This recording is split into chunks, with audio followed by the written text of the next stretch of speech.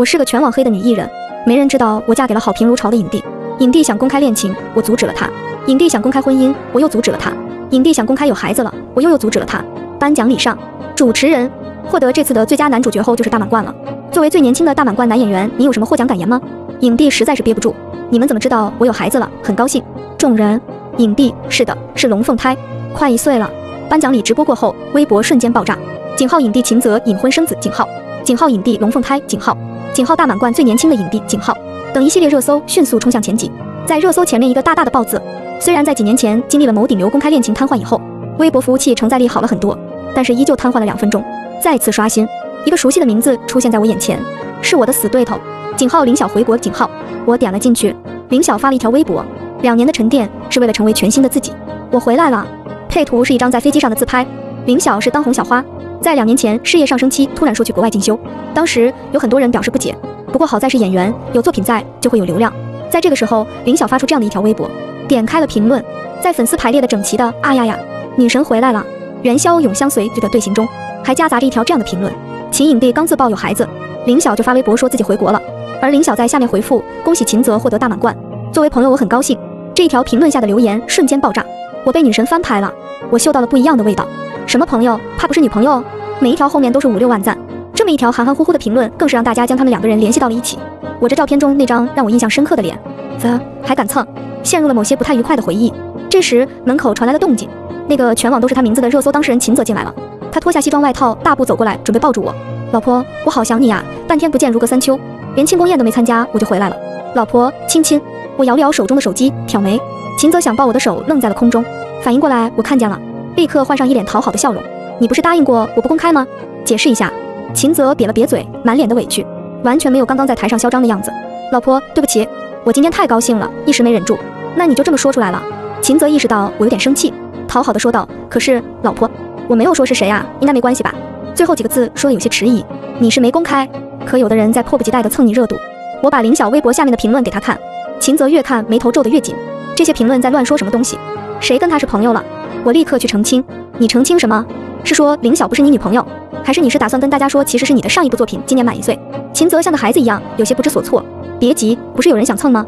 他想蹭就让他蹭，我倒要看看他脸皮有多厚，脸越厚打起来才越响。老婆，有什么我能帮得上的吗？秦泽听见我这么说，立马狗腿的凑了过来。我扶额，谁敢相信在外被称高岭之花的高冷影帝，在家是这个样子的？影帝又发微博了，很抱歉，我不公开我的妻子。他说他要靠自己站到我的身边。我尊重他的想法，她是我见过最独特的女孩，我爱她。年少的喜欢，现今想起依旧欢喜。网友 A，年少的喜欢，难道是影帝上学的时候就喜欢的人？网友 B，天哪，我看见有人扒过林晓和影帝同高中。网友 C，楼上的，我证明是真的，我姐也是那个高中的，有毕业照。瞬间，微博再次瘫痪，而这一次，景浩、秦泽、林晓、景浩的名字排列到了一起，不少营销号迅速整理网友们扒出的细节。秦泽和林晓的高中毕业照，大学也是同一所，影帝和林晓曾经合作的戏。影帝的自拍背景和林晓相同啦，等等，还配上各种图片，各种时间线梳理得明明白白。林晓说自己出国进修，实际是去生孩子了。而影帝虽然说不公开，但是心疼老婆，为林晓付出铺路，似乎成了大家公认的事实。发完微博的秦大影帝看着营销号乱转，紧张地看着我，生怕我生气。我吃瓜吃得津津有味，拍拍他的头，做得不错。秦泽发的微博是实话，在我答应他跟他试试的时候，他就恨不得公开我。当时他还是个流量明星，事业在寻求突破口。我知道女友粉的强大，阻止了他。后来他事业越来越好，想要公开，我不想一直在他的光环之下，不想被人说靠老公红，又一次阻止了。再后来我怀孕了，秦泽又一次想公开的时候，此时我已经成了全网黑的对象，怕影响秦泽的事业，所以我又有阻止。我在事业和家庭中纠结。在我第一次看见 B 超里那两个小小的生命，我决定生下他们。我突然消失两年没出来，很多人都以为我被骂到退圈，还有人说我的消失大快人心。这次我准备反击，他现在风头正盛，没怎么费功夫就打听到他最近准备参加一档综艺《演员之路》。不论你是有多部作品的前辈，还是一张白纸的新人，都可以参加，门槛不高，但是直播的形式很新颖。听说节目组为了请林晓费了一番功夫，我让经纪人帮我拿到这个综艺，虽然价格极低，但是我无所谓。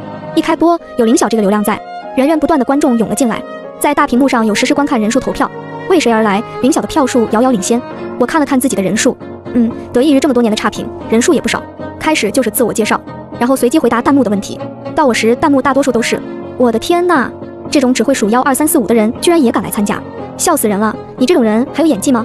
真当互联网没记忆？火了以后就把带你出道的前辈删了？你可真不要脸，还好意思出来？你这种咖位还耍大牌，拍戏用替身，真是越胡越作怪之类的。啧，在家被秦泽惯了两年，很久没这么被人骂过了。刺耳，但是我还是保持微笑，挑了几个正常点的问题回答。而到了临小时，画风跟我完全不一样。女神，你突然去国外，是不是生孩子去了？好想知道你们恋爱的细节呀！我的天哪，影帝是从上学的时候就开始追你了吗？林晓看见这些，不肯定也不否认。只见他甜甜的一笑，谢谢大家对我的关心。我来参加这个节目，想要证明自己的演技，请大家期待吧。弹幕更是疯狂刷着，啊呀呀，证明自己，实锤了！女神好棒，明明嫁给那么好的男人，还要努力靠自己，好上进。相信林晓一定会成功的。自我介绍完，到了下一个环节，分组。这次节目和以往不同的就是分组完全是由观众投票决定。屏幕上出现了几部热播剧的片段，接下来会给观众十分钟进行投票。投票结束，我被分到了一部古装剧的女主的角色。这部剧的热度多年以来居高不下，被誉为不可超越的经典。往往这样的戏就像磕烫手的山芋，稍微有一点失误都会引起群愤。分配完角色后，又是一个小小的互动环节。我很喜欢这部剧，很感谢大家对我的信任，让我拿到了这个角色。我客套的说了一句：“笑死。”他不会真以为大家喜欢他才给他这个角色吧？这个剧本台词最多。我看他到时候还会不会幺二三四五到底？哈哈哈，真的是普信女，自己什么样心里没点数吗？天哪，怎么去悠悠这个花瓶眼？不要回我的电子榨菜呀！看到这些评论，我依旧保持微笑。林晓被分到了一部仙侠剧，那边依旧是跟我这边画风相反。女神就该演这种又美又仙的角色，女神加油！这个角色太适合女神了。上午的环节录制结束，下台的时候，林晓走到了我身边，勾起嘴角，然后伸出了他那只白皙细长的手。好久不见，曲悠悠。我微微点头，好久不见。休息室。拿起手机看了一眼一堆微信消息，点开一看，全是秦泽。他因为颁奖礼的事情，近期工作被经纪人推了，正好这段时间在家休息带娃。哎呀，我老婆真好看，居然这么多人乱说，气死我了。呜，我开小号了，但是骂不过他们。老婆亲亲我，有老婆喜欢的角色哎。等着，我去给你投票。其实这届网友还是挺有眼光的，投老婆演这个 WOC，他们是不是有病？居然是这样想的。老婆加油，狠狠打他们脸。最后一条停留在刚刚，老婆不是录制结束了吗？怎么还不回我消息啊？委屈脸，我看了哭笑不得，让他的影迷看见了他这样子，怕是分分钟脱粉。我回了一句，对面立刻叮叮叮开始消息轰炸。安抚完秦泽，助理正好将午饭拿来了，我先吃饭了。我也想和老婆一起吃，老婆不在，一个人都没胃口了，好想去找老婆呀。录制的地点就在本市，乖，晚上等我回去吃饭。嗯嗯，坐等 JPG。下午的录制比较简单，基本都是在录演员背词、对戏这些往常在幕后的东西，一下子被搬到台面上，引来了不少人观看。下午录一半的时候，林晓给在场的演员和工作人员都点了咖啡。网友纷纷说：“我们林晓果然是小仙女，人美心善。”第二天早上，看见闺蜜凌晨四点给我发了条消息：“你看这照片上的是不是林晓？我店里的男模发给我的，我赶紧转发给你了。”图片上，林晓穿着录节目时的黑色的紧身连衣裙，嘴上叼着一根烟，旁边一个长相清秀的男孩子在给她点烟。前面的桌子上放着不少空了的酒瓶。谢了，我默默保存了照片，赶去了节目组。一进门，一个摄像机就怼到了脸上。这个节目还真是把全程录制贯彻到底。林晓素颜来的，一进门看见摄像机也有点懵，但是很快调整过来。哎呀，让大家看到我的素颜了。我们演员进组都是不化妆的。昨晚看休息的有点晚，是不是很丑？你别说，配上他那两个黑眼圈，还有薇娅的喉咙，还真有点丑。果然，弹幕粉丝自带滤镜，纷纷开始心疼。女神要注意休息呀，女神超美。天呐，这两个黑眼圈，昨晚一定熬很晚吧？太心疼了。如果女神是普通人的话，是不是不用吃这么多苦了？太不容易了。林晓看着那些弹幕，微微一笑，没关系的，我只想展现最好的作品给大家。这些不算什么的。说完，脆弱的一笑，更是引得弹幕嗷嗷叫。我已经坐进了化妆室，看了看这边的弹幕，这就是对比。人家林晓熬夜看，你看曲悠悠的样子，一看就没努力，这么早还化妆来，真做作，一点都不自然，真麻烦人家化妆老师还得卸妆。然后就看见化妆老师拿着粉扑，一边在自己手上拍，一边说：“你这皮肤是真好，素颜不上粉底液都行。”弹幕，这打脸也太快了，我脸好疼。那有什么用？长得好看不就是个花瓶吗？演员靠的是演技。另一边。林晓的化妆师正在疯狂想办法消水肿、遮黑眼圈，因为考虑到有新人，所以第一期节目要求相对宽松，每组都有两小时录制时间，可以 NG，只要在规定时间内录完就行。时间到了以后，无论你录制到什么环节，都必须停止录制。和我合作的一位是演艺圈的老前辈，大家都喊她红姐。红姐演的角色是皇后，还有一位是个小网红萧启，才十八岁，对演戏完全没有经验。他饰演的角色是皇后唯一的儿子，也就是太子，性格懦弱。萧启长相白白净净，穿上那套服装。再加上有些懵懂的眼神，还挺符合角色。第一场就是我和他的对手戏，我刚说完台词，轮到萧启时，他眼神茫然地望着我，然后一脸抱歉，对不起。本来就有一堆网友准备看我笑话，瞬间弹幕飘满，红姐太惨了，一组中居然有两个不行的，这个网红谁啊？连一句词都记不住。红姐十惨加一。我和红姐安慰她，昨晚对戏不是挺好的吗？别紧张，想象你就是太子，把你想说的说出来。又试了两条，还是不太满意。红姐拍了拍萧启的肩膀，没事的，这样，先拍我和悠悠的对手戏，你先在旁边缓解一下情绪，多深呼吸。时间一点点流逝，还剩最后十分钟，我们这一组现在还差最后一个镜头。女主在被心爱的人伤害后终于心冷，这是她的一段独白，也是台词最长的一个部分。嗷吼，还有十分钟了，这组肯定拍不完了。这有啥拍不完的？说幺二三四五，几分钟就完事了。虽然，但是没人觉得其实曲悠悠刚刚演的还行吗？楼上的是曲悠悠脑残粉吗？我深吸了一口气，在心里默想了一遍台词，迅速进入情绪，对导演轻轻点了点头。恭祝吾皇，我的声音有些哽咽。祝吾皇坐拥万顷江山，永享无边孤独。说完最后一句台词，我跪在殿前行了一个大礼。抬头的瞬间，一滴眼泪顺着我的眼眶滑落。卡，很好，一遍过。导演的声音把我从剧中拉了出来。太棒了，姐姐！小启在一旁疯狂拍手。我还沉浸在戏中，眼泪忍不住流。红姐拿着纸巾到我身边安慰我。时间还剩下五分钟。原本一堆来看热闹的网友集体沉默，十万人的直播间鸦雀无声。突然有人猛砸了六十六个嘉年华，紧接着一条亮闪闪的弹幕霸屏飘过，看见没？悠悠一条过。那些说他只会念幺二三四五的打脸了吧？弹幕一下子又热闹了起来。哇，惊现土豪！我要录屏。不得不说，曲悠悠刚刚那段很流畅，这实力，我相信幺二三四五说的不是他了。有人注意到他最后那滴泪吗？虽然镜头隔得远，但是我觉得好美，好心疼。你们都是曲悠悠买的水军吧？台词不是基本的吗？就这也吹，顺便安利一下我家林小女神，就是做好最基本的还被夸。你们不会一直在吃没看那边吧？你们女神那边要把我笑发财了。不明真相的吃瓜群众又纷纷涌进林晓的直播间。时间到，卡着最后一秒，林晓那边的导演站起身，捏了捏自己的鼻梁，重重的叹了口气，差不多行了。刚进直播间的网友都不知道发生了什么，都在问怎么了。弹幕太多，大家一时半会儿搞不清状况，带着一脸疑问。上午的直播结束，我刚回到休息室，秦泽一个电话打了过来，宝贝，想我没？我好想你。我哑然失笑，别贫嘴。刚刚那个嘉年华是不是你刷的？对呀，对呀。虽然我骂不过他们，但是我家宝贝打他们脸，我高兴。语气里满满的骄傲。在秦泽还缠着我聊天的时候，休息室的门砰的一声被撞开，我把手机屏幕扣在了桌子上。林晓站在门口，用他那厚厚的粉底都盖不住的黑眼圈望着我。是不是你花钱买热搜黑我？我一脸疑惑，想到了刚刚回来的路上听红姐说了点，大概猜出什么情况，瞄到了他后面天花板上的摄像头，计上心头。你在说什么呀？我没有，不是你还能有谁？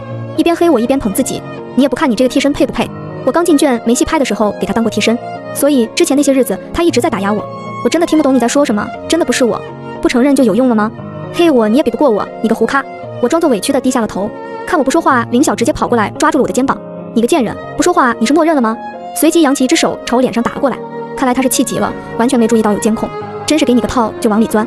我站着没动，巴掌在我脸上落下，我的头随着啪的一声偏向一边。工作人员用广播在外面喊：“直播还有十分钟开始，请各位做好准备。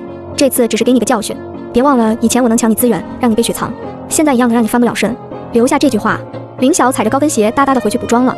她没看见我被散落的头发挡住了慢慢勾起的嘴角。那女人打你了？秦泽的声音饱含着怒气。没事的，我还有录制，先挂了。我声音微微颤抖，带着点哭腔。秦泽又一个电话打过来，被我拒接，随即低着头给秦泽发了一条信息：“你去找人搞一份这里的监控，别让人知道。”然后点开手机开始吃瓜，井号 NG 女王林晓，井号。井号林晓 NG 合集，井号。井号曲悠悠 VS 林晓对比，井号。井号曲悠悠演技，井号。随便点开了几个，现在网友真速度，连合集都剪出来了，我看着差点乐出声，憋笑憋到身体颤抖。时间差不多了，我照了照镜子，脸上一个红红的掌印显现出来，还有点微肿，这力度不太行啊，真是绣花枕头中看不中用。又拿起腮红加深了一点脸上的指印，再用粉底轻轻盖了盖，左右看看不满意，又用腮红扫了扫眼尾。幸亏之前糊的时候经常给自己化妆，让我有了不错的化妆技术。这味儿。对了，接下来的流程是让演员参与电影剪辑一小时。此时已经是剪辑师在刚刚休息时间加急赶出来的半成品。一开直播，不少人涌了进来。剪辑室好暗啊，这能看见什么？楼上的，这叫防止光污染。第一次参与剪辑，有点激动，都听不见他们说什么，好无聊啊。等会儿正片的时候踢踢我。为了让成品效果更好，直播镜头较远，声音也没有收录太多。我认认真真的看着剪辑师剪辑视频。老师，我怎么觉得肖启的镜头有点少？红姐也点点头，还是应该给新人多点机会。萧启突然鞠了一躬，语气有些激动：“谢谢两位老师，把红姐逗笑了。这孩子真诚的可爱。老师，我觉得在这里可以加入一段主题曲，你看这边是不是用另一段更好？我们这边的氛围不错。”连萧启也在说着自己的意见。时间到，请各位演员上台抽签。半小时后，按照抽签顺序播放成片。上台前，我看见了林晓的经纪人走到导演那边说了什么。导演点了点头。林小组最先上台抽签，几个组员一起按下按钮，大屏幕上数字滚动，最后在七停下了。林晓对着镜头温柔的一笑，很荣幸拿到压轴，希望不会辜负大家的期望。哇哇哇，女神好温柔，好美，期待女神的表演。虽然，但是考工人看不下去了，想说一句，压轴是倒数第二个，这叫压台。你懂得多又怎么样？你又没人关注。看来我想的没错，他经纪人应该是和导演沟通，争取剪片时间了。看着我们组抽到的一号，咋低估他了？他还玩这招？其他还有几组没抽，几个新人纷纷松了口气。一般第一个出场的压力最大，而且对于投票制的节目来说，第一个出场如果不够出彩，后面很容易被观众遗忘。萧启看见这个顺序，立刻慌了。啊，一号怎么办？一张白嫩的脸急得通红，连耳尖都泛着红。哈哈哈，果然是新人啊！这反应莫名有点可爱。好奶的弟弟呀！红姐拍了拍他的肩膀，我也上前安慰他，别怕，刚刚不是看了吗？挺好的。萧琪点了点头，紧抿的嘴唇透着一丝紧张。怎么感觉曲悠悠也脸红了，眼眶都是红红的？不会是抽到第一吓哭了吧？这么点心理素质，当什么演员啊？太装了！出道这么多年了，还装，真恶心！楼上太离谱了，都是两面派吧？为黑而黑，笑死！这种人还有人护？抽完签，主持人让大家谈了谈今天的感受。好的，下面让我们来看一看第一个作品。主持人说完，直播切换，别吵了，别吵了，来看戏。盲猜一波，曲悠悠又要抢戏了。我心里冷笑一声，真是人被黑，什么小事都能被翻出来。当初刚进圈，当了 N 多替身，终于有导演愿意让我演个双女主的戏。播出时，另一个女主的戏份几乎被剪光。那个女演员发布了声泪俱下的小视频，说自己接受不了娱乐圈黑暗，决定退圈，明里暗里暗示我抢戏。我去找剧组，因为咖位太小，也没什么人理我，没有团队公关，只能自己发布了一个小声明。但是很明显，舆论站在了退圈的一方，他是弱者。虽然后来我发现他是因为接受潜规则，被原配发现遭到封杀，戏份才会被剪光。没想到这么多年前的事情还会被翻出来。我知道那件事，当初一部小网剧，最后只剩曲悠悠的镜头了。这女人真心机，怕不是等会儿戏里又只有她了。大屏幕上的画面一点点播放，最后的场景是我抬起头，眼泪顺着脸颊滑落。镜头慢慢拉远，太子和皇后一个站在殿内，一个跪在殿外。最后镜头定格，正片完。我怎么觉得又被打脸了？刚刚说抢戏的呢，完全没觉得呀。赞同，我甚至觉得萧启的镜头多一些。我的天，最后曲悠悠那滴泪，滴到我心里了。看哭了，这是什么美强惨的角色？红姐不愧是实力演员，气场太强大了。曲悠悠没你们说的那么差呀，路转粉了。看她那么多黑料，对她无感。第一次看她演戏，这演技好棒。肖启新人，演技还待提高，但是挺符合角色的。楼上别无脑吹，这就叫好了。你们是没见过好的吗？曲悠悠这种人品的人都有人粉，无语。演员是演员，看演技，跟私生活有什么关系？你们是看节目还是吵架？要吵架出去吵。后面几组是新人，没什么流量，大家评论都比较正常。终于到了最后一组。啊啊啊！我女神来了！弹幕整齐地刷起，林晓勇敢向前冲，元宵永远支持你。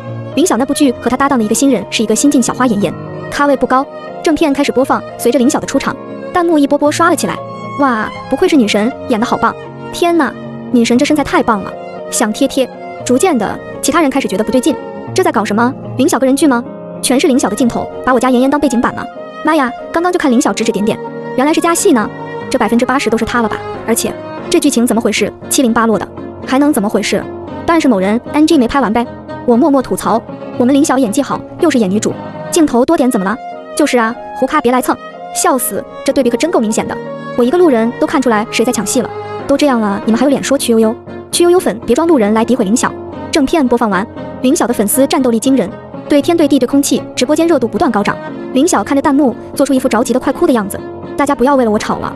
每一位演员都是很努力的，大家都很辛苦，没有内讧了。又被夸了一波人美心善。最后的投票结果，因为林晓强大的粉丝基础，获得了第一，我们小组得了第三名。节目火了，不少人在网上讨论这一期的节目，其中不少有人将我的表现和林晓的表现进行比较。再次刷新一下，我发现秦泽的名字又出现在了热搜上。他在家里好好的，又整啥幺蛾子呢？点开看见秦泽发了一条微博，光芒快藏不住了，比心配图是和抓着的宝宝的手比心。我网友纷纷评论，秦影帝，大家都知道你有娃了。能不能矜持点？你是影帝呀！好了好了，知道你家宝宝了，一岁就会比心了。我怎么觉得他意有所指呢？林晓紧随其后发了一条：我相信越努力越幸运，感谢有你们的陪伴。配图是一张坐在沙发上手拿着剧本的照片，后面的钟指向了凌晨四点。心疼女神，这么晚还在看剧本，难怪今天录制这么憔悴。女神一定要好好休息呀，保持好状态。我怎么觉得这一条是在回忆影帝刚刚发的呢？林晓给这条评论点了个赞，又立刻撤回，但是还是被不少网友看见了。WOC 磕到了。WOC 磕到了加一，WOC 磕到了加幺零零八六。在秦泽每次发微博，林晓都会暗戳戳蹭一波，秦泽都没有发声明，依旧是晒娃晒得不亦乐乎。这种似乎靠近真相，但是又不知道真相是什么的感觉，实在让人心痒。不少网友磕 CP 疯狂上头，林晓身上自带流量，节目越来越火。因为有了第一期 NG 太多差点翻车的经历，林晓在后面几期状态好了很多。我这几期演技也得到大家认可，渐渐多一些演技粉。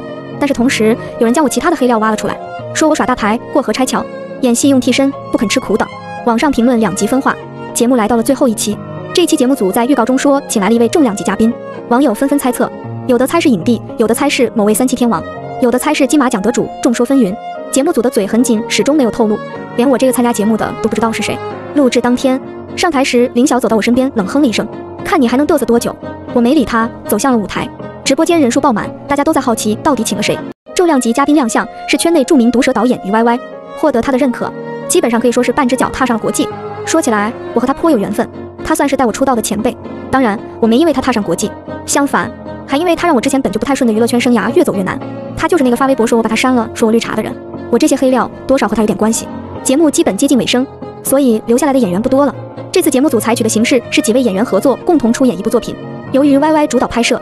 开场环节是导演发言，于 Y Y 先说了一些比较官方的话，很感谢被邀请来这个节目。这里面其实有一位我很想合作，但之前没找到合适机会的演员林晓。镜头给到林晓，满脸惊喜，谢谢于导，很荣幸。随后于 Y Y 话锋一转，不过有的人虽然说演员演技很重要，但是我个人认为人品也同样重要。说完他停顿了一下，意有所指的看了我一眼，弹幕一下子炸开了，这是什么劲爆的剧情？节目组太会了，打起来打起来，不愧是于大大，直接开撕。那些所谓的演技粉觉得丢不丢人？于 Y Y 继续说，所以这次我想采用特别一点的方式，大家每个人发一条朋友圈，就发今天天气真好，给大家五分钟，点赞数最多的不仅可以演主角，还有分配角色的权利。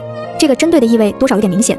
刚发出去，秦泽秒点赞，并且回复道悠悠也一样美好，怕被共友看见，我秒删。还好摄像机没有怼着每个人的手机拍。坐在评委位置的于歪歪也拿出手机刷了一下，然后略过了我，看向旁边几个新人，你们有谁的网名叫纯情大猩猩？我们合作过吗？弹幕笑疯了，神 TM 纯情大猩猩，这谁想出来的？哈哈哈哈！我要笑死了，哪个搞笑女好接地气，我要粉她。旁边几个新人互相望了望，摇了摇头。嗯，我默默举起来手，于导是我。早知道有这环节，我就该改个名字。之前流行这样的名字，一时兴起就改了，觉得现在都打备注。再加上我从来都不发朋友圈，估计没人会看见，就没改回去。你歪歪手指在手机上点了点，沉默了。你一直用这个微信？是的，于导，而且我从来没发过朋友圈。我点开朋友圈给他看了一眼。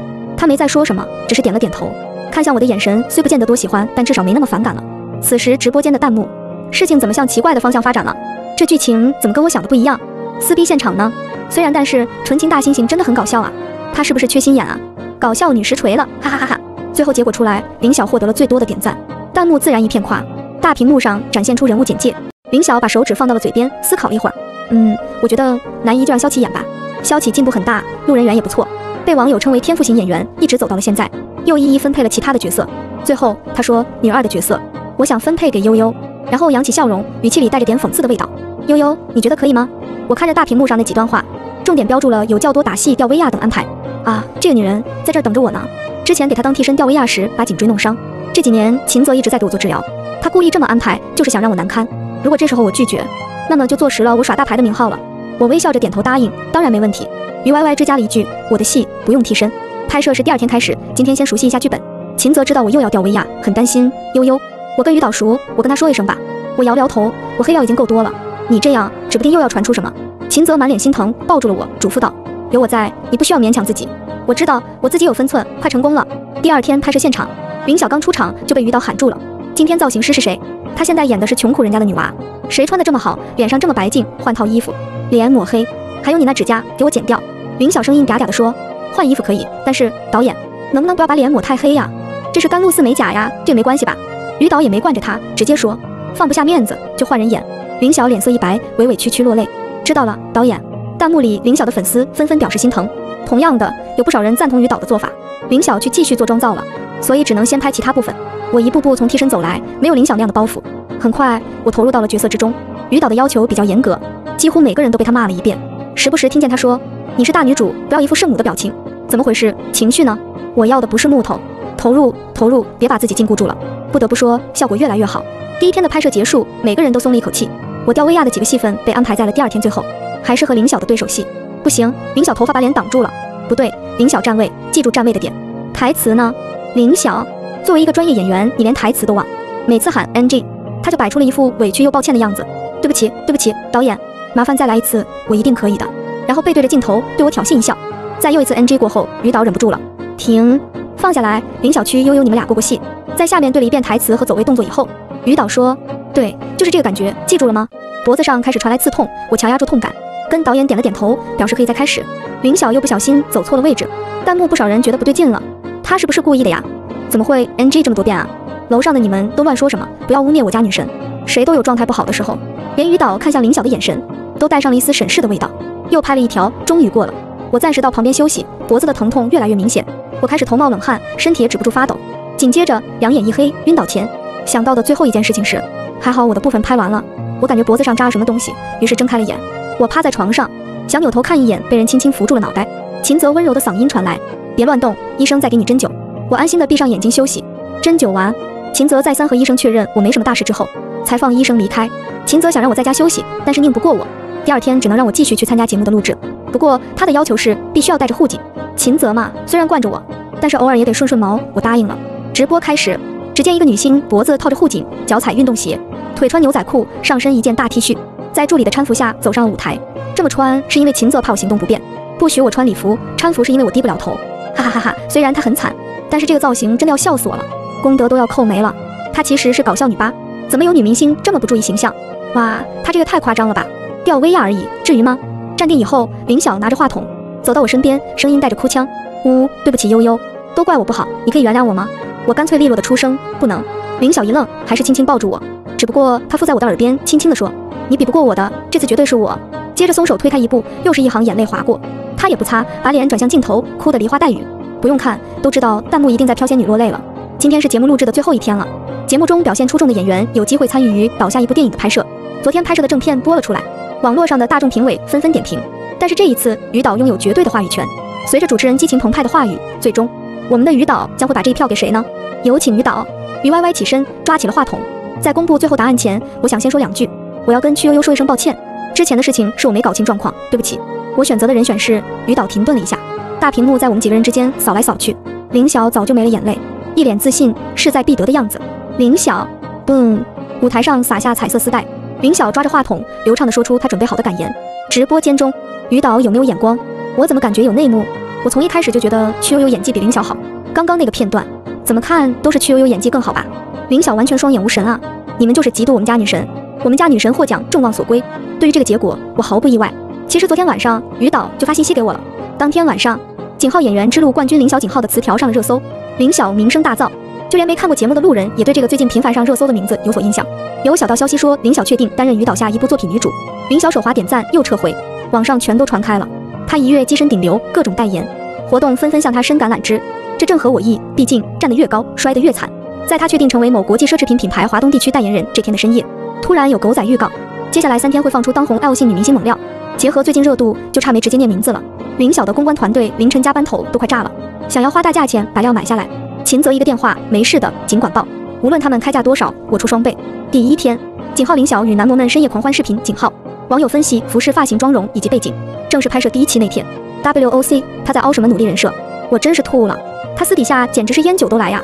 第二天，景浩林小霸凌曲悠悠，景浩是在休息室的监控，难怪那天曲悠悠整张脸都是红的，眼眶也红了。我真该死，居然说他装，他怎么这么惨？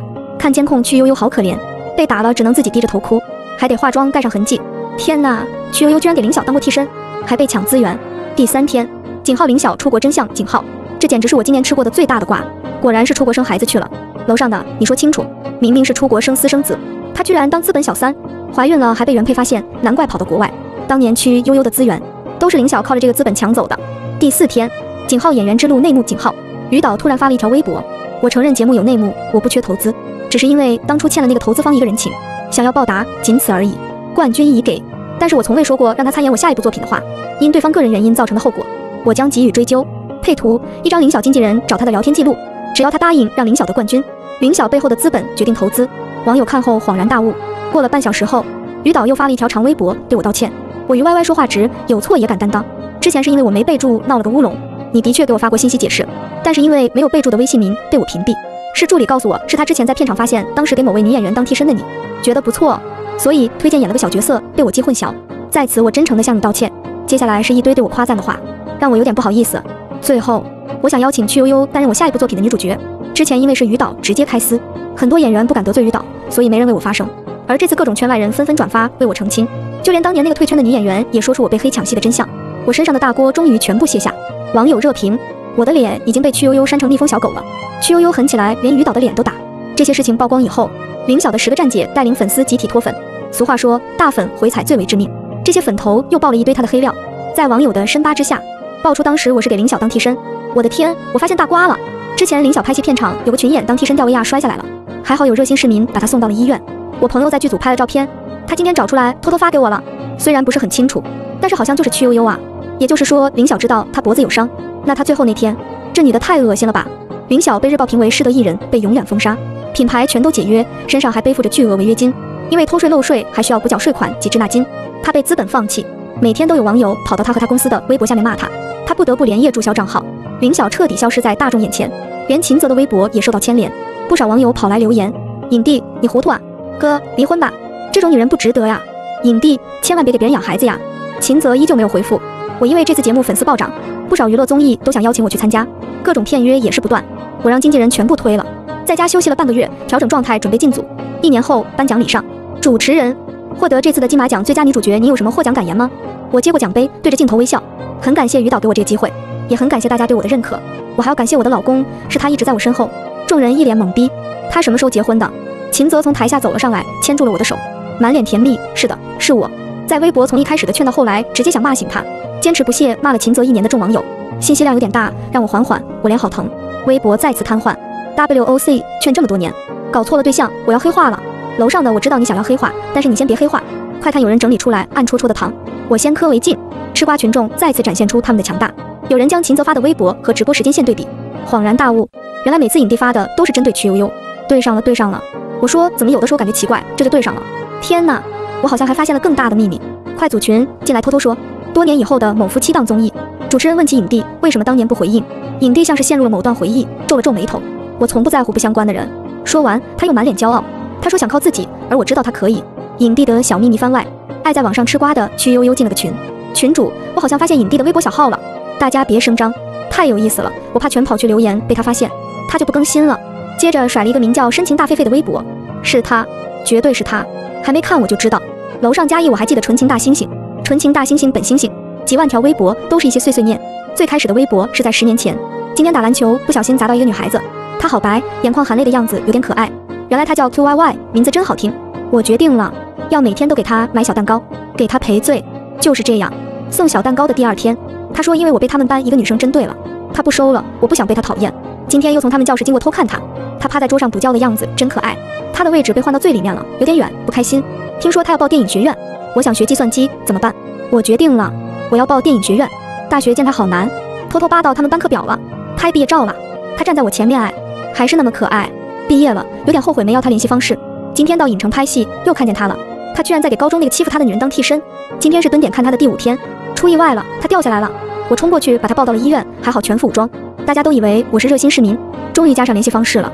他不记得我了，他演技可比那个女人好多了。我要帮帮他，不敢被他发现。我偷偷找于导助理，于导说他表现不错，他好像被打压了，都怪我实力不够，不能保护他。今天他终于答应我跟我交往了，好想公开，他不愿意。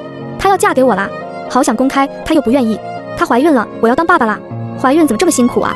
真想替她疼，能不能把孩子放到我肚子里？终于生了龙凤胎。老婆好辛苦，爱死她了，好想公开，她怎么还不愿意呀？大满贯没憋住，说漏嘴了。这女人怎么阴魂不散，天天盯着我蹭？她说要靠自己，好心疼。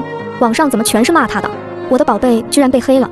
我平时连句重话都不舍得说，我开小号骂不过他们。